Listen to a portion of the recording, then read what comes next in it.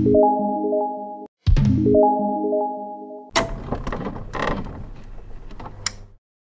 tal amigos? El domingo pasado reflexionábamos sobre el seguir a Jesús, aprender a renunciar y dar la vida. Este domingo vigésimo tercero del tiempo ordinario, Jesús nos invita a hacer realidad lo que es la corrección fraterna, el valor y el poder de la oración y la presencia de Cristo en la comunidad de conversión, que es la iglesia.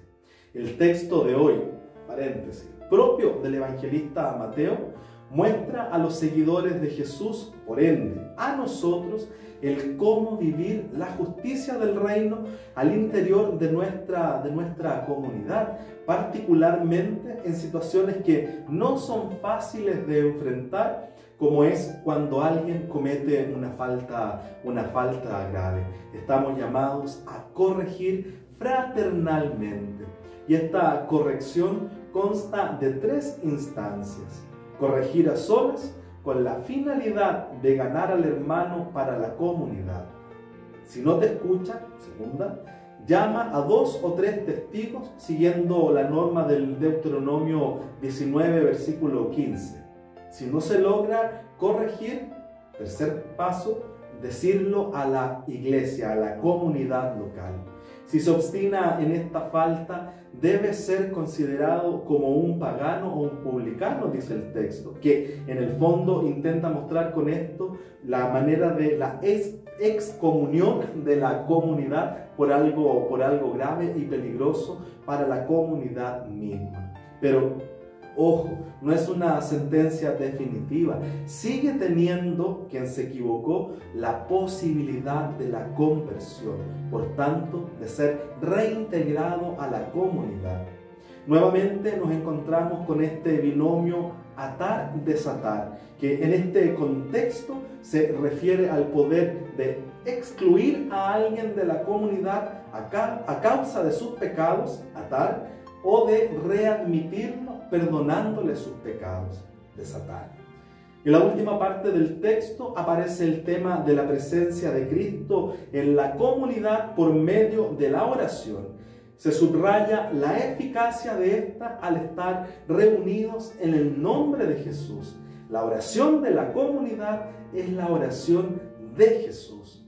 Esta oración comunitaria goza de una presencia especial del Señor Jesús que es en el fondo el cumplimiento de la promesa que había realizado Jesús de asistir a quienes se reúnen en su nombre.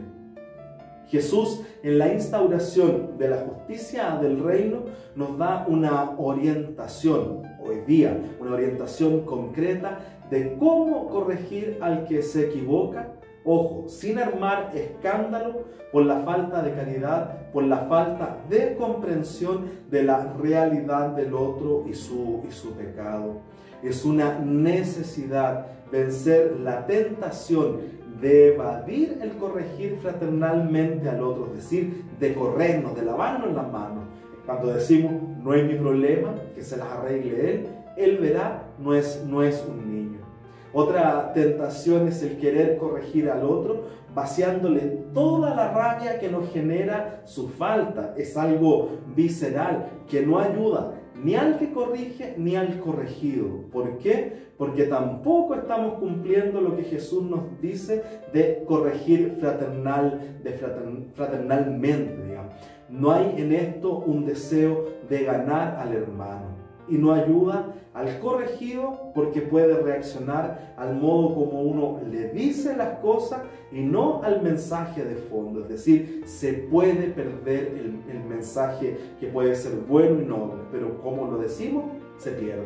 Por otro lado, se da la tentación también, y que lo hemos hecho, es ridiculizar al que se equivoca, sobre todo delante de otros. Y tampoco estamos cumpliendo la, la recomendación que Jesús nos da hoy día. Por otra parte, tenemos que reconocer que muchas veces lo hemos hecho mal cuando todos los demás se enteran del pecado del otro. Lo ventilamos por todos lados y no nos acercamos en primer lugar a conversar con la persona en cuestión bajo la óptica, como lo decíamos, de la fraternidad. Pidámosle hoy día al Señor en esta semana que Dios nos dé la gracia de ser menos castigadores con los que se equivocan y más acogedores. ¿Para qué? Para ganarlo para la comunidad, ganarlo para Dios. Que este Dios nos dé esa humildad, sabiduría y paciencia para saber corregir y también saber aceptar la corrección.